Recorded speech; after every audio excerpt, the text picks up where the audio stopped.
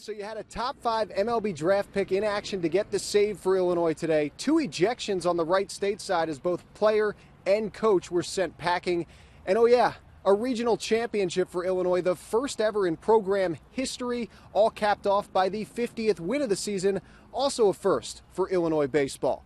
Not bad for a Monday. Illinois trailed early, but once again the Illini answered the bell, and once again the fifth inning proved to be key as Illinois put up a four spot in the fifth, taking a 4-2 lead in what would eventually result in an 8-4 win. In all, it was a wild afternoon for Illinois as the program took home their first ever regional championship and punched their ticket to Supers. We got a veteran team, guys that have been around, and I think it's that kind of mentality and just how we practice and whatnot that – even when it gets later in the games, even if we're down, there's no panic. There's never been panic in the dugout.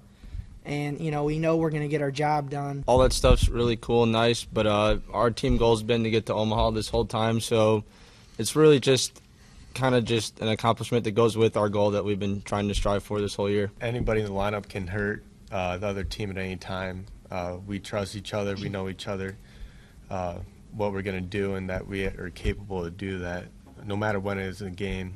Like if the top half isn't hitting, the bottom half will help. So it's just picking each other up. I don't think people understand how difficult it is to number one make the NCAA tournament, uh, but then to be a national seed, and now to uh, win a regional. Those are great accomplishments, and you know this group has, has been outstanding because of uh, what their vision is, and their vision's not to just win a regional. So.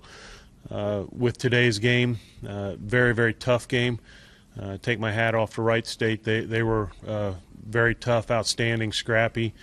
Uh, but these guys did such a good job. And what a reward for Illinois. They'll get the defending national champions right back here next week at Illinois Field as the Vanderbilt Commodores come to town for super regional action.